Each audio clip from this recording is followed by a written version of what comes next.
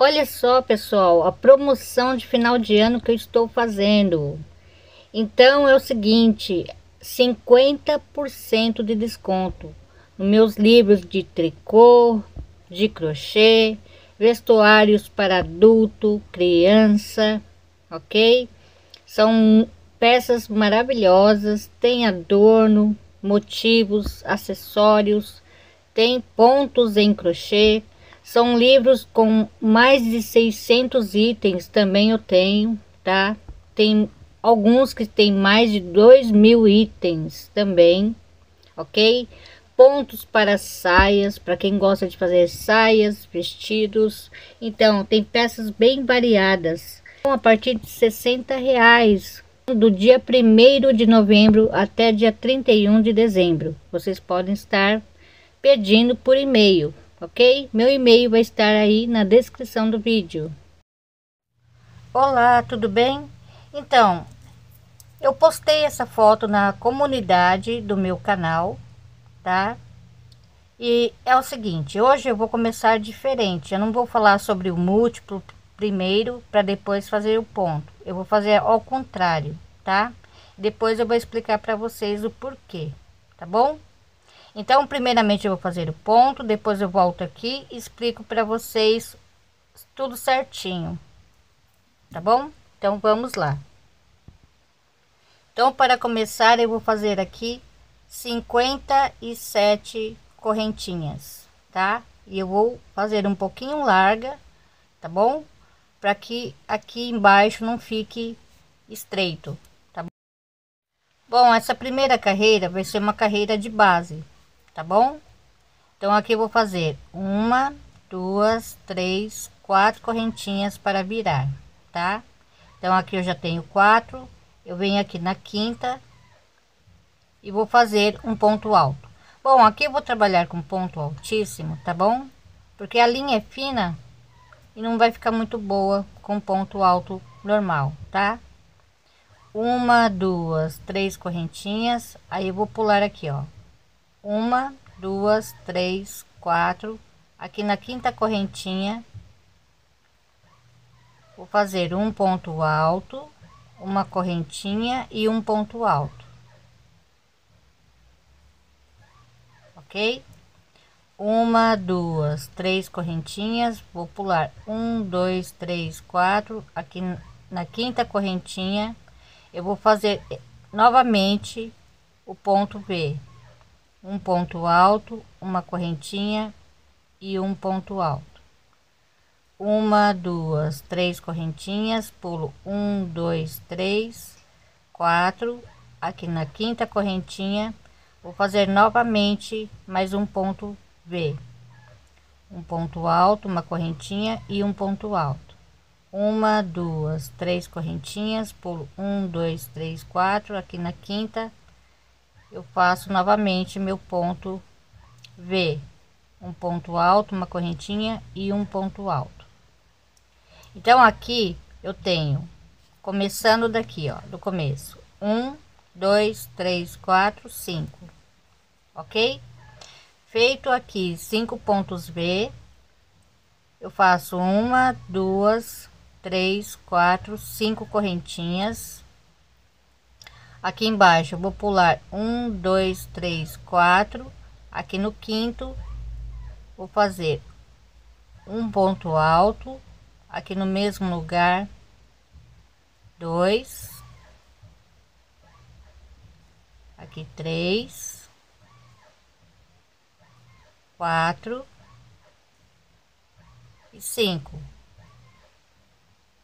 Ok Agora eu vou tirar daqui e vou fechar uma pipoca. Então vou pegar aqui no primeiro ponto alto, vou pegar a laçadinha e puxo aqui, formando a pipoca, ok? Uma, duas, três correntinhas aqui embaixo, ó. Vou pular um, dois aqui no terceiro, um ponto baixo. Uma, duas, três correntinhas pulo um dois aqui no terceiro vou fazer mais uma pipoca tá um dois três quatro e cinco, ok? Aqui eu vou fechar a pipoca, pegando no primeiro ponto, pego a laçadinha ali e puxo ela aqui. Uma, duas, três, quatro, cinco correntinhas. Vou pular um, dois, três, quatro. Aqui na quinta correntinha, eu vou voltar a fazer o ponto B, tá? Então, olha só. Aqui eu vou repetir cinco pontos V, exatamente do jeito que eu fiz aqui, eu vou fazer aqui também. Então vai ficar assim: um, dois, três, quatro, cinco pontos V, duas bolinhas e aqui cinco pontos V, ok? Então aqui a segunda carreira, quer dizer, seria a primeira, porque essa daqui é a de base, tá? Então vou começar fazendo uma, duas, três, quatro correntinhas. Vou virar, vou fazer um ponto alto aqui do dentro do ponto B uma, duas, três correntinhas. Eu venho aqui, ó, nesse espaço, um ponto baixo, uma, duas, três correntinhas. Aqui dentro do ponto B, um ponto baixo, uma, duas, três correntinhas. Aqui no espaço, um ponto baixo, uma, duas, três correntinhas. Aqui dentro do ponto B, Vou repetir novamente o ponto B.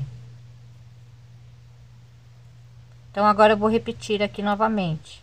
Uma, duas, três correntinhas, aqui no espaço, um ponto baixo. Uma, duas, três correntinhas, aqui no espaço, dentro do ponto V, um ponto baixo. Uma, duas, três correntinhas, aqui no espaço, um ponto baixo uma duas três correntinhas aqui no ponto B. Eu faço novamente o ponto B tá? Só que aqui no caso eu vou fazer assim ó. Eu faço um ponto alto aqui dentro do ponto B uma correntinha e um ponto alto aqui em cima do ponto alto ok? Somente este e esse aqui que fica ao lado da bolinha que é assim. Aqui no caso se você quiser pegar em ponto relevo você pode pegar também. Por exemplo eu faço aqui um ponto alto dentro do ponto V uma correntinha e eu pego aqui assim por trás tá? Fazendo ponto alto para ficar diferente aqui ok uma, duas, três, quatro, cinco correntinhas. Aqui na pipoca, eu normalmente eu pego assim, ó. Eu coloco a agulha e saio aqui assim, dessa forma, tá? Que como aqui não tem correntinha, tem o, o ponto baixíssimo, né? No caso, ele fica muito difícil de pegar. Então, eu sempre faço assim, ó. Tá bom? Pra mim, fica mais fácil fazendo assim. E aí, ele, o ponto também, as pipocas seguinte vai ficar mais retinha, tá bom? Então aqui eu faço um ponto baixo. Uma, duas, três, quatro, cinco correntinhas. Aqui dentro, novamente, da pipoquinha, eu pego por aqui, ó, saindo aqui em cima, ó. Ok? E aqui eu faço mais um ponto baixo. Um, dois, três, quatro, cinco correntinhas. E aqui eu vou repetir novamente. Então, o que eu fiz aqui, eu vou fazer aqui também. Então, aqui o primeiro eu vou pegar em relevo, tá? Eu vou fazer ao contrário, ok? Faço uma correntinha e aqui dentro do espaço faço um ponto alto, normal, tá bom? Aí eu sigo fazendo a mesma coisa que eu fiz aqui, eu vou fazer aqui também, tá? Aqui um, dois, três, três correntinhas, aqui no espaço um ponto baixo, uma, duas, três, aqui no ponto V um ponto baixo, um, dois, três, aqui no espaço um ponto baixo, aí faço um, dois, três, e aqui no ponto V eu faço outro ponto V. Então aqui é só repetir tudo que eu fiz do outro lado, fazer aqui a mesma coisa, tá bom?